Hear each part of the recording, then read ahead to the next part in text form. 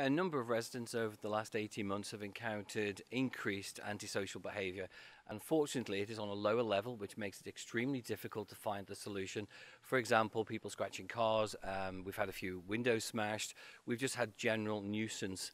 Uh, my colleague Julie Edge organised um, a meeting on Monday, which um, there was representatives from the local commissioners, the, the police was there, um, youth services was represented, and obviously ourselves as, um, as MHKs for the local area. And we're desperately trying to find um, a, a satisfactory solution on behalf of the residents who keep raising this matter over the last 18 months towards as national politicians. Well, as, as I've said, they've, they've had um, incidents of um, cars being scratched, windows being smashed, but more important, more um, detailed, should we say, has been a continuous antisocial behaviour. People just causing a nuisance to neighbours. I mean, this is a fabulous village to live in. People, it is a wonderful area to bring up kids, but there's just been isolated pockets of incidents, continuous for the over the last 18 months, and we're desperately trying to find a solution amongst ourselves to um, resolve it.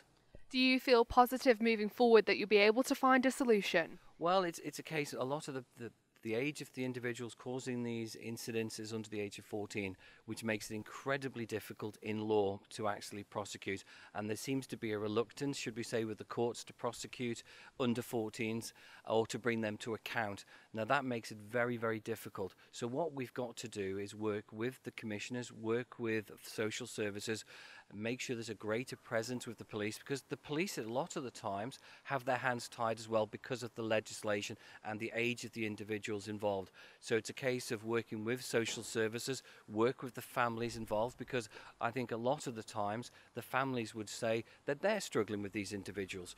So it, it, there's not an easy solution, but what we do need to do is give the families the support.